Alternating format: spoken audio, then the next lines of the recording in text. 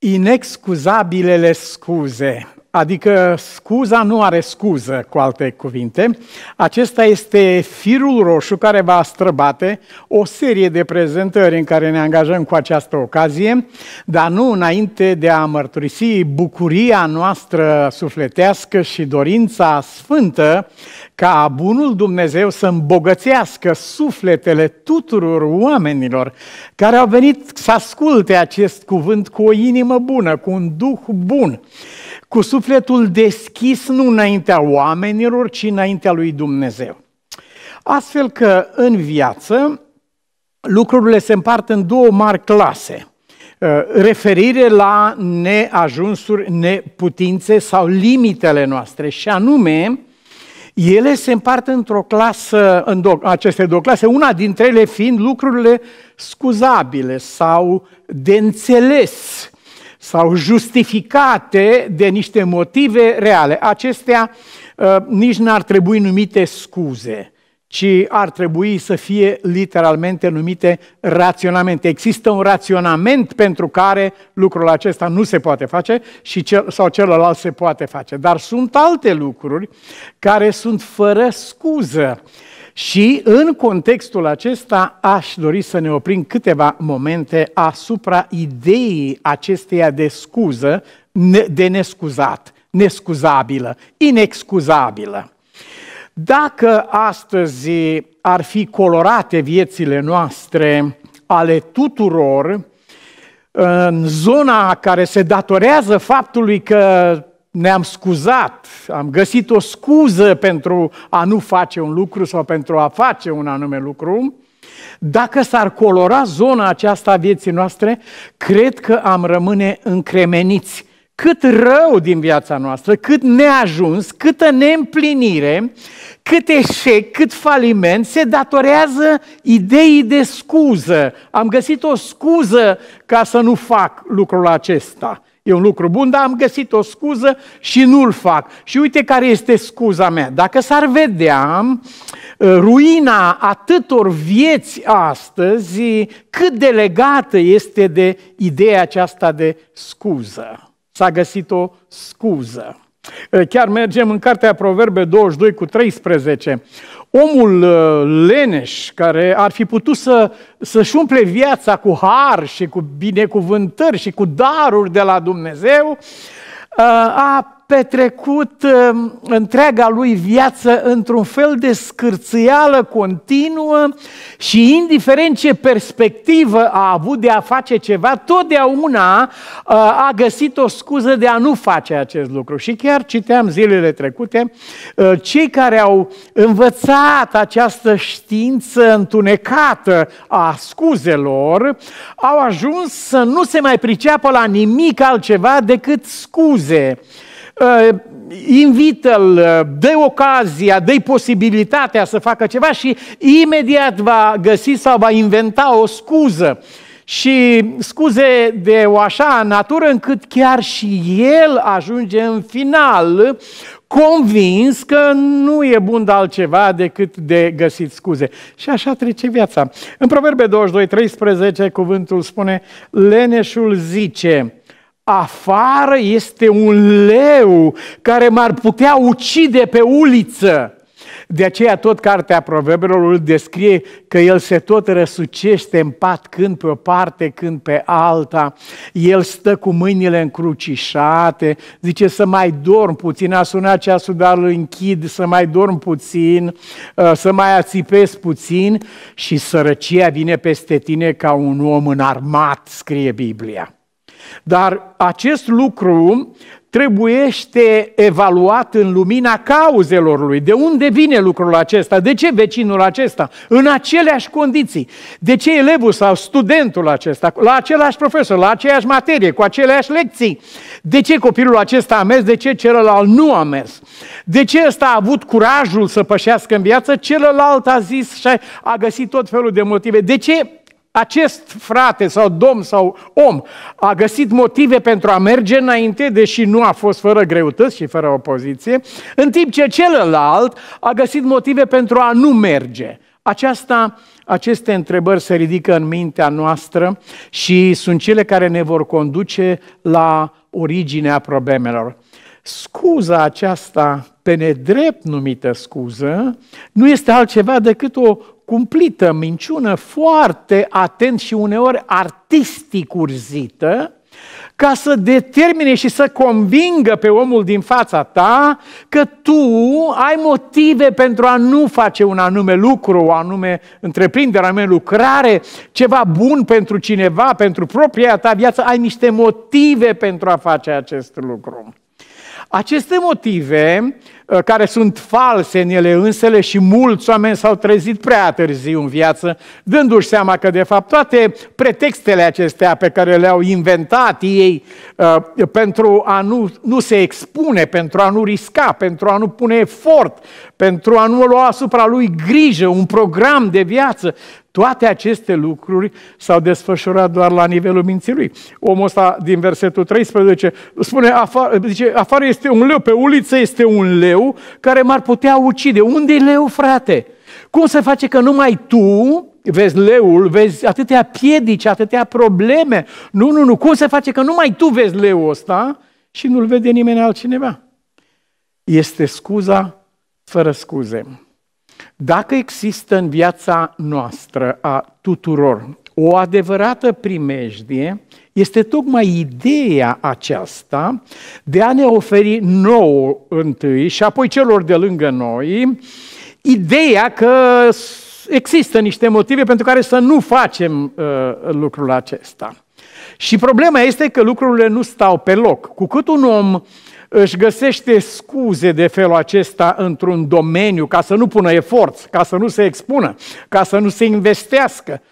Cu cât găsește scuze, cu atât priceperea lui de a găsi scuze crește tot mai mult, crește paleta de scuze de rămâi uimit. Și în timp ce el repetă, psihologia a demonstrat acest lucru, în timp ce el își repetă scuzele continuu și continuu către cei din jurul lui, uh, el însuși ajunge convins de aceste scuze. Până când în cele din urmă devine un infirm și un neputincios, bazat pe faptul că acele scuze imaginare pe care le-a folosit inițial, Uh, ca să, uh, să, nu, să nu lucreze, să nu facă, uh, să nu pună un efort, să nu se angajeze în vreun fel sau altul, să nu-și ia niciun fel de răspundere dacă se poate asupra lui, acele scuze au ajuns să fie crezute chiar și de el în final și s-a prăbușit sub greutatea lor.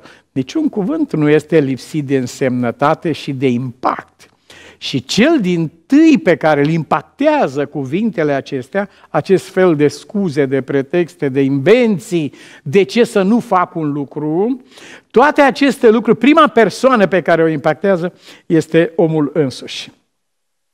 Ați observat că în momentul în care cineva vrea să facă un lucru, în clipa aceea găsește motive pentru a face lucrul acesta. El după aceasta se uită. În clipa 1, când i-a fost prezentat în fața acest lucru, se uită după niște motive pe care le are să facă aceasta și după niște căi pe care le poate face. Îi se ridică și lui piedici în fața lui și oamenii din jurul lui încearcă să descurajeze, să împiedice, să, să, să-i taie uh, avântul, încrederea. Acestea nu-l opresc.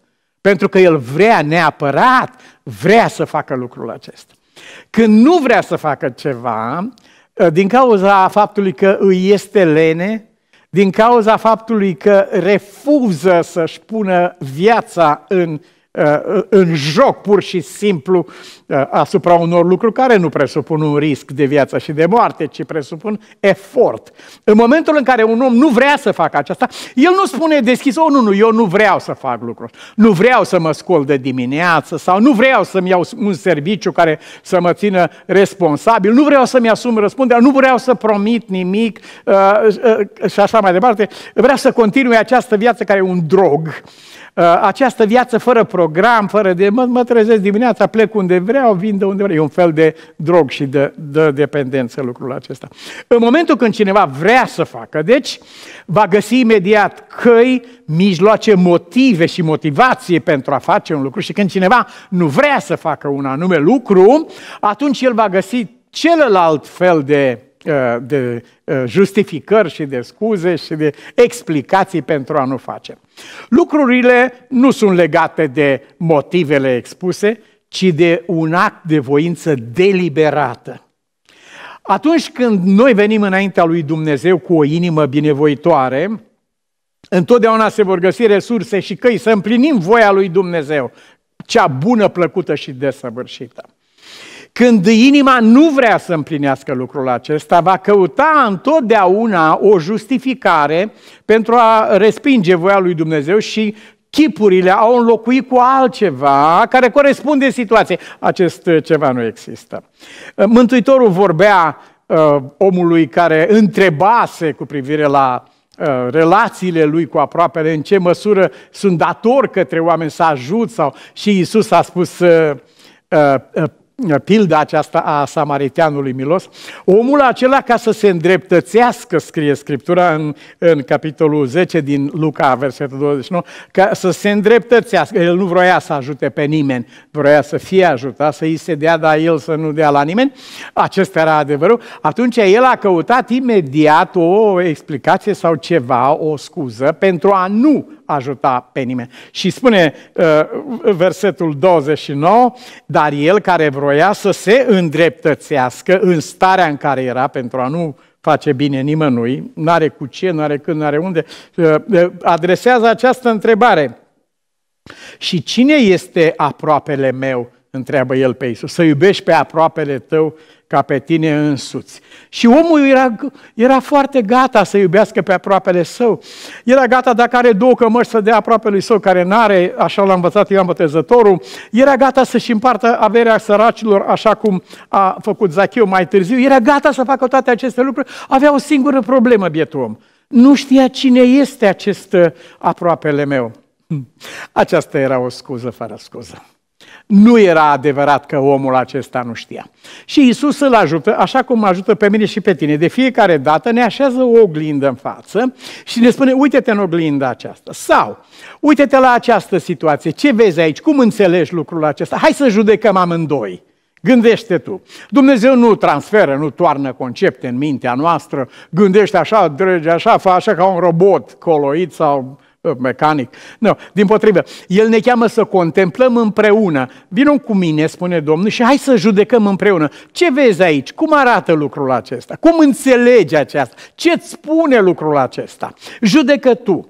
Pentru că uh, singurul de la care un om primește învățătură sau corecție sau îndreptare sau îndemn Singura ființă nu este Dumnezeu sau vecinul, ci este propria lui ființă. Atunci când vine din lăuntru lui, el răspunde la aceasta, dar dacă nu vine din lăuntru lui, indiferent cine ar vorbi, aici îi vorbea Isus, el va găsi imediat o scuză să nu asculte. Și mă rog, cine este aproapele meu? Vom întâlni pe parcursul acestei uh, serii de prezentări uh, situații după situații în care scuzele au nenorocit oamenii.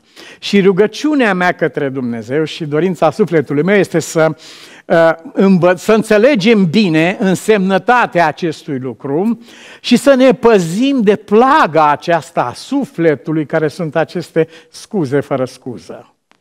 Dacă n-ar fi fost scuzele acestea, dacă n-ar fi fost ele, cât de bine era, uh, cât de mare era binele în lumea astăzi, cât de diferit ar fi fost viața noastră și va fi dacă vom primi cu adevărat de la Dumnezeu lumina aceasta. Ați observat că uh, totdeauna în momentul în care suntem chemați la o lucrare a lui Dumnezeu, la o lucrare bună, Uh, totdeauna ni se prezintă alternativa, ni se prezintă motivele pentru care n-ar trebui făcută primejdiile, lipsurile, neajunsurile, personalitatea, timpul, vai, nu e, toate aceste lucruri o să uh, ne atingem în trecere, dar toate apar înaintea noastră în momentul în care ne gândim să și dorim să răspundem chemării lui Dumnezeu. Toate apar înaintea noastră.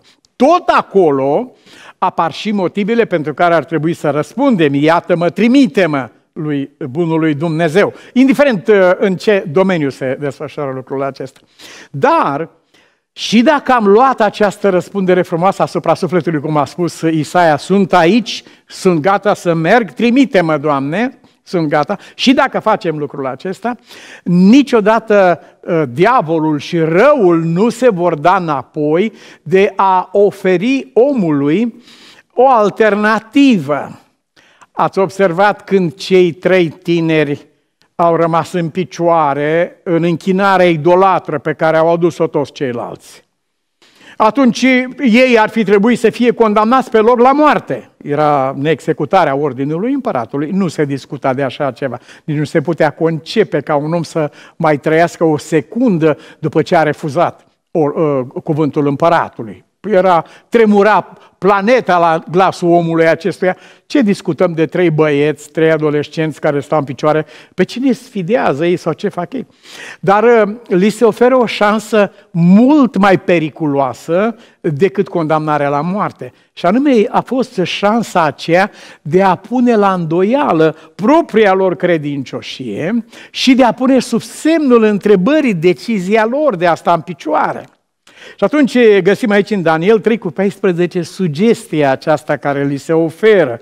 Ă, în adins ați făcut, conștient ați rămas în picioare și sigur că știm ce urmează după expresia aceasta, ă, condamnarea. Și în fața acestei posibilități, acestei uși deschise, uite, luați-o pe stânga, ieșiți pe aici. În fața acestei perspective, sufletul nostru este mult mai grav ispitit decât am fi fost ispitiți în fața unei condamnări deschise și totale. Este așa de alunecos lucrul acesta. E atât de perversă scuza în sine, dacă asta e situația, uite-te în ce situație suntem cei trei tineri aici. Au destule scuze. Cineva care privește din tribune zice, sigur că da, cum să nu ia, trebuie să fim așa, trebuie să fim dincolo. Uh, dacă cineva ar dori să apuce pe drumul acesta, uh, are și ar găsi.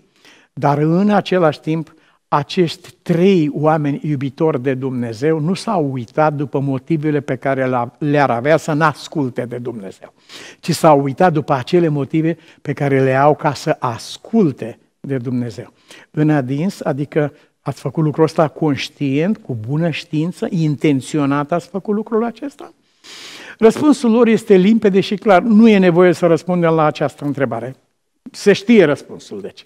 Ă, ă, știi bine de ce am făcut lucrul acesta, ne cunoști viața, nu e nevoie să răspundem la această întrebare. Ei rămân credincioși nu numai în perspectiva condamnării, dar și în perspectiva alunecoasei scuze care putea fi adusă într-o situație ca aceasta.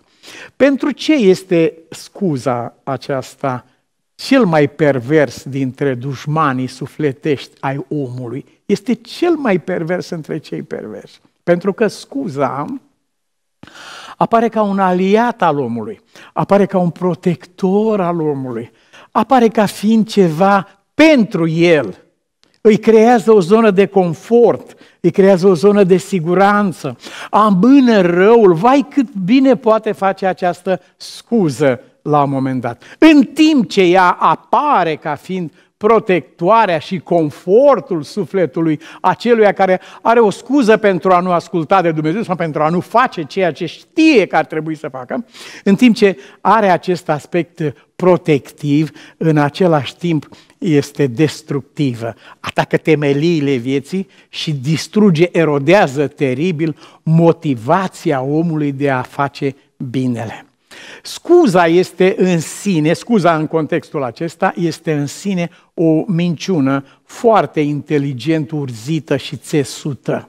De așa natură încât are capacitatea de a convinge pe cel care ascultă, mai rar se întâmplă aceasta, dar vatămă sufletul celui care se folosește de scuză pentru a nu săvârși binele atunci se produce adevărata nenorocire. A doua oară când este un om confruntat cu o astfel de chemare, a doua oară este și mai vulnerabil, se va scuza și mai repede, și mai ușor, va fi și mai priceput în a se scuza și va sfârși viața urzind, fără, termin, fără, fără sfârșit, tot felul de scuze. Sunt oameni care afișează ignoranța. Și lucrul acesta pare ceva foarte de înțeles. Chiar Domnul spune, uite, El nu ține seamă de vremile de neștiință, oamenii nu știu. Există astfel de oameni și ei pot avea o adevărată justificare. Ei pot fi înțeleși. Uh, sunt aceia pentru care s-a rugat Isus. Iartă-i căci nu știu ce fac.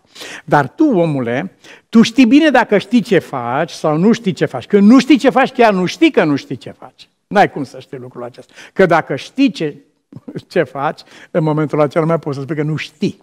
Dar uh, Duhul lui Dumnezeu, prin conștiință, te înștiințează pe tine și te ajută, te confruntă cu realitatea, cu adevărul.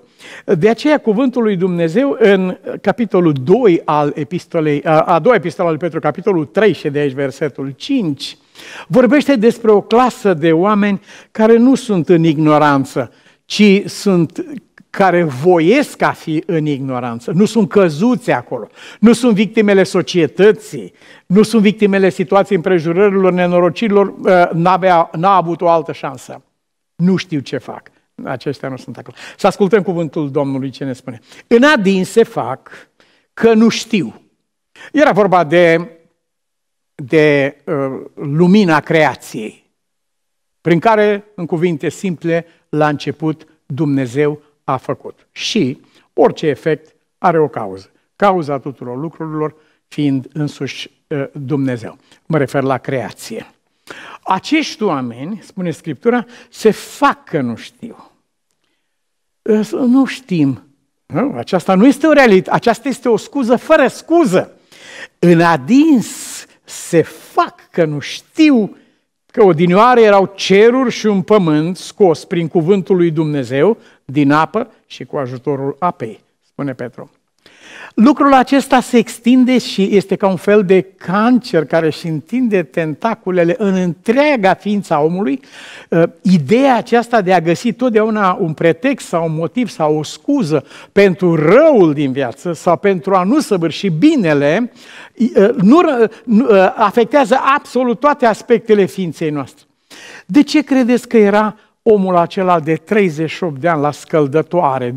Care era boala lui? Era bolnav de scuzită.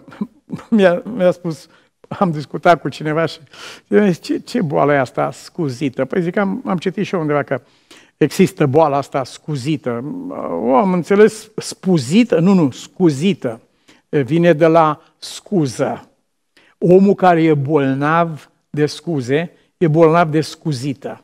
Și având în vedere că boala aceasta dă o scuză și pentru a nu te face sănătos, dă o scuză pentru a nu voi să faci binele de niciun fel, având în vedere că boala aceasta este atât de cumplită, încât paralizează voința spre bine a ființei umane, Iisus vine lângă omul acesta și îi spune, nu ești bolnav nici de picioare, zăcea de 38 de ani acolo. Tu nu ești bolnav nici de mușchi să, să ai distrofie musculară, nu ești bolnav nici de încheieturi, nu ești nici paralizat, bolnav cu nervi. Tu ai o singură problemă. Pe tine te paralizează scuzele tale. Tu ai o problemă la nivel mental, nu fizic. Și toată problema fizică pe care o ai se datorează felului cum gândești, cum ai ales să gândești. De aceea Iisus nu-l întreabă pe el cum stai cu vitamina cu tare, cum stai cu mineralele, cum stai cu... Nu, îl întreabă un singur lucru. Cum stai cu a vrea?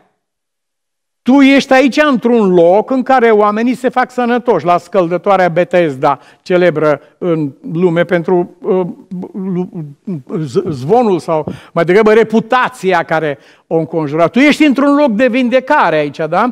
Ești între oameni bolnavi, care a venit aici să se vindece, se presupune că și tu da ești venit aici. Sigur ești venit cu ideea de a te vindeca sau ești venit cu ideea de a rămâne bolnav și de a sta între bolnav pentru întreaga ta viață. E normal, dacă te faci sănătos, va trebui să te scoli mâine dimineață și va trebui să prinzi autobuzul, să mergi la lucru undeva sau să faci ceva, să sapi în grădină sau să faci o mâncare. E normal. Dar dacă ești bolnav așa de 38 de ani, ce să faci tu? Tu nu poți să faci nimic și pare o viață mult mai simplă și mai la îndemână. Te întreb direct, spune Iisus, tu ai intenții serioase de a te face sănătos? Ești dispus ca împreună cu sănătatea pe care ți-o dă Dumnezeu să-ți asumi responsabilitatea unui om sănătos? Ce, ce gândești în domeniul acesta? Vrei să te faci sănătos? Aici este problema ta. Și el nu răspunde la această întrebare, ci enunță din nou scuzele care l-au ținut pe el zăcând 38 de ani. Aceleași scuze. Uh, n-am pe nimeni, n-am putere, sunt alții mult mai puternici și mai repede care uh, se găsesc în locul acesta. Eu sunt un om părăsit. Și de asta sunt. Eu nu te-am întrebat ce ai sau ce nu ai. Nici măcar nu te-am întrebat cum ești sau cum nu ești. Eu te-am întrebat, spune Iisus, un singur lucru. Vrei să te faci sănătos? În loc să răspundă la întrebarea aceasta, el vine imediat cu platoul cu scuze. Și nu răspunde că vreau sau nu vreau să mă fac sănătos. În realitate, atunci când nu spui un lucru, spui altul. Când nu ai spus vreau să mă fac sănătos, în clipa aceea ai spus că nu vreau să mă fac sănătos. Chiar dacă n-ai spus cuvintele acestea. Prin faptul că ai spus că nu ai spus vreau să mă fac sănătos, ai spus vreau să rămân bolnav. Și el în loc să răspundă la întrebarea aceasta, vine cu scuzele. Uite care sunt scuzele mele. Sunt de atâția ani aici, atâta suferință, atât, de atâția ani sunt aici. Asta înseamnă că ai încercat serios de multe ori să te faci sănătos. Te întreb din nou, spune Isus. Vrei cu adevărat lucrul acesta? Pentru prima dată, mintea omului aceluia a putut să vadă lumina cu privire la adevărata lui problemă a vieții lui. Adevărata lui problemă erau scuzele. Aceasta era problema. Aceasta este problema multor vieți, nenumărate vieți. Aceasta este singura explicație a falimentului, a crimelor, a nenorocirilor care se întâmplă în lumea aceasta. Undeva pe firul vieții sau a existenței un om a găsit o scuză pentru răul din viața lui. Și pentru că a găsit această scuză, ea a degenerat în ceea ce a ajuns și se vede astăzi. Vrei să te faci sănătos? Un altul se scuză cu credința, pe linie de credință. El nu și-a serviciu sau o muncă undeva pe bază de credință, că acolo sunt necredincioși, că acolo nu poate să fie el perfect credincios, păi dar n-ai auzit că trebuie să lupți pentru credința dată Sfinților, dată pentru totdeauna. Uh, președintele Bisericii Adventiste în România a stat de vorbă cu ministrul apărării într-o perioadă și i-a spus, uite, avem o mulțime de cazuri de oameni care astăzi și-au pierdut libertatea din cauza convingerilor lor religioase. Domnule ministru, vă rog să faceți ceva ca să-i lăsăm pe acești tineri. Și domnul ministru a spus, voi acorda dreptul acesta fiecărui militar care va câștiga prin luptă. Adică Luptă-te lupta cea bună. Adică sunt îndemnat să vă spun să luptați pentru credință. Nu, eu nu mă duc acolo pentru că nu pot să țin credința. Nu mă duc la școală pentru că sunt copii de un fel sau de altul. Să... Luptă să poți păstra credința. Dacă, dacă în sufletul tău vrei să faci un lucru, vei găsi motive pentru al face. Iar dacă nu vrei să faci acel lucru, vei găsi o grămadă de alte motive pentru care să nu faci acest lucru bun. Dacă cineva te întreabă ce zici, ar fi bine să faci lucrul ăsta? Tu spui e bine și vrei să faci, nu, nu, păi da, eu sunt așa, plus mai sunt și bolnav, dar astăzi ești bolnav în momentul ăsta? Nu, păi da, haide să mergem astăzi, hai să facem ce putem acum. Tot ce găsește mâna ta să facă, fă cu toată puterea ta acum. Uh, poate că la vară, poate că la anul. Orice fel de astfel de explicație și de scuză se transformă în ruina și ruinarea propriei vieți. De aceea omul acesta și cei care au venit pe urmele lui și au găsit o scuză în credința lor. Tu de ce n-ai lucrat? Uite, aceiași oameni în aceleași condiții care au primit talanții, uite ce au făcut oamenii ăștia, tu ești unul care n-ai făcut lucrul ăla. Imediat a apărut scuza. Eu am o problemă de credință, cel cu un talent. Ce problemă de credință ai tu? Păi, uh, eu cred că Dumnezeu este un stăpân aspru. Mi-e frică să lucrez cu stăpâni aspri. Oh, eu nu sunt învățat să um, strige cineva la mine sau să mă, să mă grăbească cineva pe mine. Nu, nu, eu sunt stăpânul propriei mele vieți. Eu fac numai ceea ce ce cred eu și știu că ești un stăpân aspru și mai știu că seceri de unde n-ai semănat și vânturi de unde n-ai secerat. Asta, asta e credința ta despre Dumnezeu? Da, și din cauza a motive de credință. Pe linie de credință nu fac nimic în viață. Nu, n-am făcut nimic. N-am pus talentul, nici măcar n-am pus talentul la schimbător, că ar fi crescut singur dacă, dacă ți-asumai riscul. O, nu, tu nu, tu nu ți-asumi niciun fel de risc. Tu vrei să dormi pe perna ta liniștit și l-ai pus acolo într-un ștergar, îl păstrezi bine. Scuza este gata, e pregătită acolo.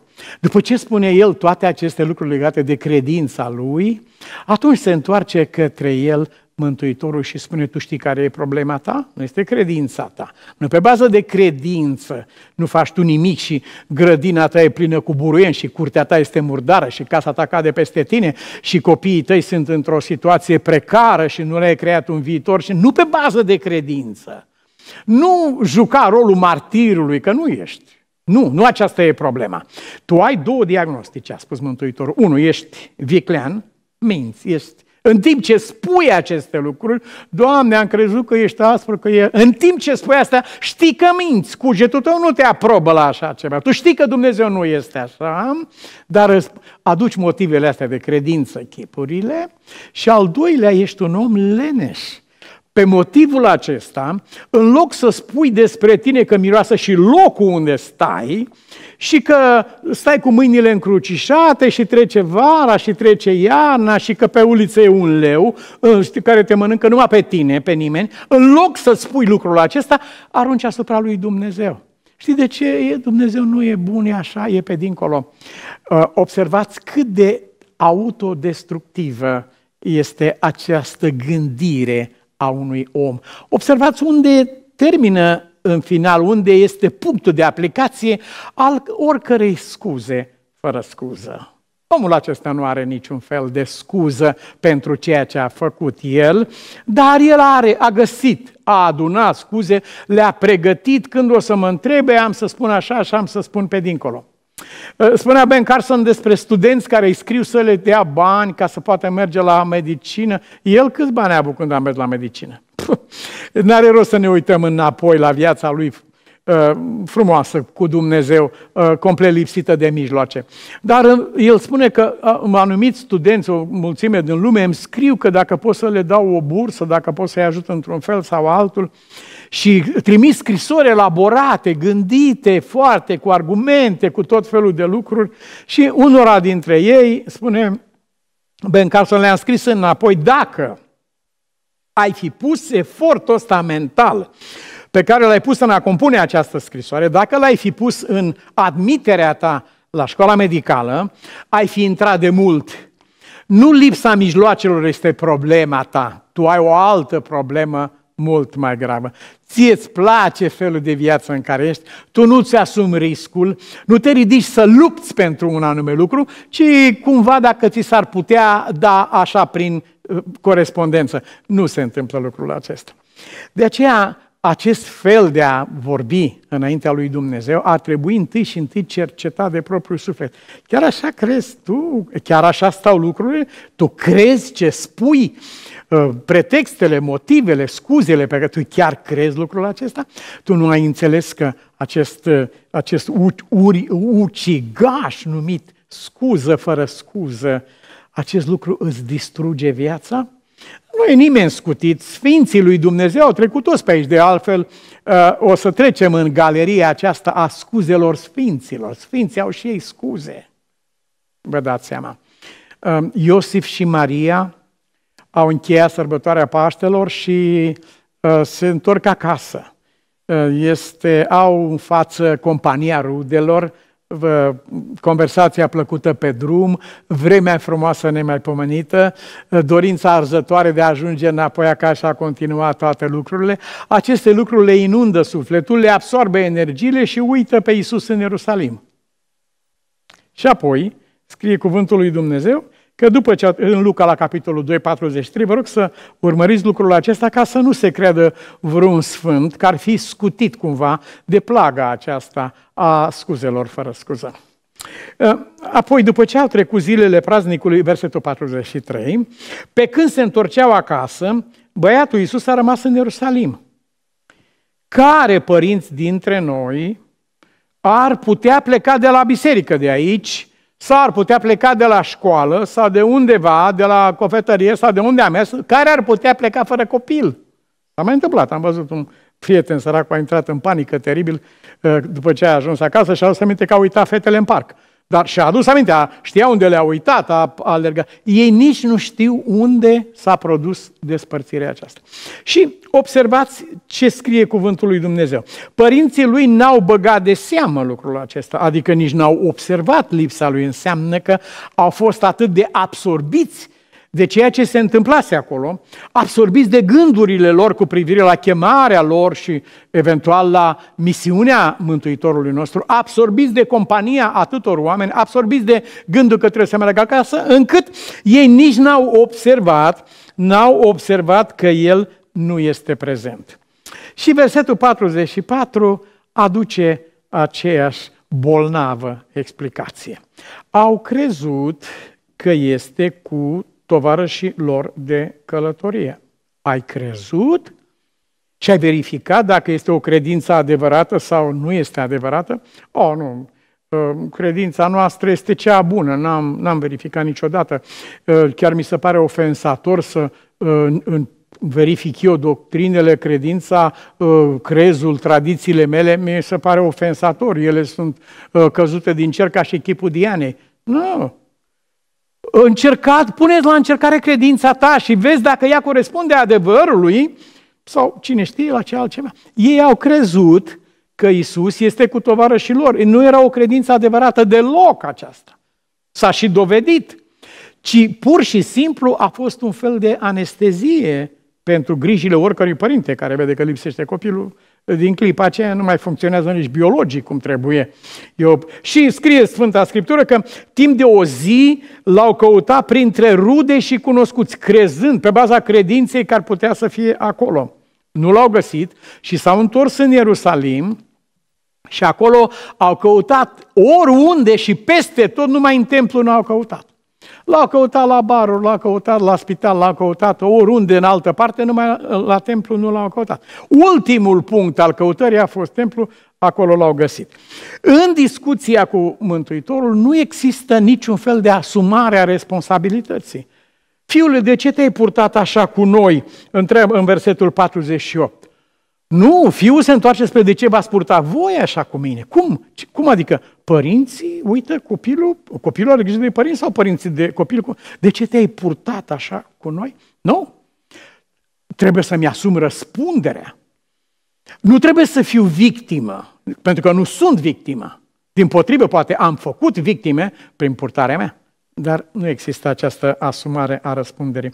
Uh, te-am căutat cu mare grijă, uh, am studiat termenul, uh, vorbește despre te-am căutat plângând ca de mormântare, te-am căutat cu frică, te-am căutat cu mare grijă peste tot, la care Isus nu este deloc intimidat de această gelanie a lor, ci spune faptul că ați căutat arată că voi, de fapt, n-ați crezut cuvintele pe care vi le-a spus îngerul Gabriel. Unde puteam să fiu decât în treburile tatălui meu, in my father's business, așa cum este tradus în engleză, sau în casa tatălui meu, unde puteam să fiu. De ce e nevoie să căutați în tot orașul, în tot Ierusalimul? Și ultimul punct aici. Observați că firea noastră firească pământească, nu scutește pe nimeni, poate să fie Iosif și Maria, poate să fie David sau Abraham, sau oricare dintre sfinți. Nici pe tine nu te scutește și nici pe mine. Aceste lucruri ne sunt date nouă și ne sunt predate prin cuvântul lui Dumnezeu ca să ne scape pe noi de suferința aceea de la capătul drumului în care un om vede că scuzele cu care s-a învăluit el nu numai că nu l-au protejat și nu l-au ajutat, ci literalmente l-au nenorocit. Gândurile lui n-au fost gânduri care să-i asigure confortul sau securitatea, ci au fost niște gânduri care au lovit la temelia vieții lui și i-au distrus rodirea lui, i-au tăiat rădăcinile aceste scuze fără scuze. Eh, găsim în Sfânta Scriptură toate aspectele acestei boli a sufletului omenesc și prin harul bunului Dumnezeu venim înaintea aceluia care ne poate vindeca de așa ceva. Noi suntem cei care am răspuns lui Dumnezeu cu scuză ani de zile, uite de ce și nu încă și într-un fel sau altul. Dar întrebarea lui către sufletul nostru astăzi este, care este scuza ta pentru faptul că tu amâni pe Dumnezeu de atâta timp? Care este scuza ta? Păi uite care este scuza mea. Nu, no, spune Isus. Nu, aceasta este, nu acesta e adevărul. Adevărul este altul. Tu chiar vrei lucrul ăsta? Vrei cu toată inima, cu tot sufletul, cu toată puterea, cu toată ființa să iubești pe Domnul Dumnezeu tău cu, cu întreag. Vrei lucrul acesta? Aceasta este marea întrebare pe care El o înalță înaintea noastră. Și cuvântul lui Dumnezeu ne spune că în timp ce nu există niciun fel de scuză pentru a sta departe de Dumnezeu sau a trăi împotriva voiei lui Dumnezeu, există în același timp marea și binecuvântata noastră poartă care ne deschide drumul spre o viață fără astfel de scuze care distrug viața, ci cu speranța aceea pe care a inspirat-o Iisus omului acelui. În momentul în care i-a spus, ridică-te, ia-ți patul și umblă. În clipa în care i-a spus acest lucru, Iisus i-a transmis următorul mesaj pe care ți-l transmite ție și mie. Toate scuzele tale sunt cenușă, nisip. Nu pot să cred, eu m-am scuzat 38 de ani cu treaba aceasta și uite, am stat aici și am dus-o ca bolnav, așa, la, am pe pensie de boală sau ceva. Aici am dus-o la, la scăldătoarea Betesda. Și Iisus spune rău, ridică-te, ia-ți patul și umblă, arată că toate scuzele tale n-au fost adevărate. Nu e adevărat că nu te poți ridica, nu e adevărat că nu poți să-ți iei patul, nu e adevărat că nu poți să umbli, nu e adevărat că nu poți să fii făcut om întreg, așa cum spune Mântuitorul. Acesta e cuvântul pe care dorește El să-l adreseze sufletului nostru astăzi. Și înaintea acestei situații, după pilda marilor oameni ai lui Dumnezeu, care au venit în rugăciune, rugăciunea lui Ezra, în care vine și spune Dumnezeu meu sunt uluit și mi-este rușine, rugăciunea lui Daniel în care spune sunt vinovat, rugăciunea lui David, Doamne, împotriva ta, numai împotriva ta am păcătuit. Aceasta este atitudinea sfinților. Privind în viața noastră eșecurile care s-au datorat unor scuze imaginare și care s-au dovedit că în planul lui Dumnezeu nu au fost niciodată adevărate, nu au fost reale, în, într-o situație ca aceasta, mărturisind lui Dumnezeu, îmi asum răspunderea pentru scuzele pe care le-am spus și mărturisesc înaintea ta că n-am nicio scuză, am decât toate motivele să merg pe urmele tale. Vină după mine, a spus Mântuitorul nostru și comanda aceasta, porunca aceasta este încă vie cu această ocazie pentru mine și pentru tine. Doamne Tatăl nostru, păzește-ne de boala aceasta a sufletului omenesc ca scuzelor, fără scuză. Fă-ne, Doamne, conștienți de fiecare dată când căutăm o scuză pentru a-ți spune nu ție, pentru a te amâna pe tine. Dă-ne, Doamne, curajul întotdeauna să săvârșim binele cu întreaga noastră ființă, așa cum ne-ai învățat în cuvântul Tău și numele Tău să fie binecuvântat în veci de veci. Amin.